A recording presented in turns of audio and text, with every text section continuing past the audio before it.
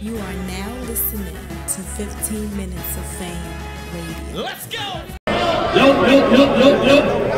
Yo, y'all can hear me? I said, ask niggas from Ace Hood if he hustle hard, you'll find proof. We in different rides, catch 'em, trick 'em, slip and slide, the non-shoot, get picked off like Rick Ross. It ain't always about gunplay when I slide through.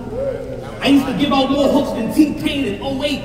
And since he's a Florida rapper, it still applies too. I'm a I'm obliged too. I'm obliged too. son. I'm obliged too. Stay tuned up. Gun titles, I shoot up. You make contact, you will lose touch. Who sucks? First you gotta peep the route, then them K's and them sheets come out. Two cuts. If I'm asking suit up, if I'm asking suit up, it's prom night. We get a new touch. Then we all crashing, all dashing. I'm trying to catch these bitches grouped up. You was in a two-seater while I was cooped up. I had to sharpen a tool on the ground. I don't give a fuck who rush.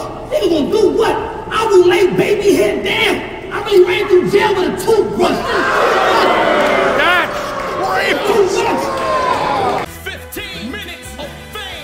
You are now listening to 15 Minutes of Fame Radio. Let's go!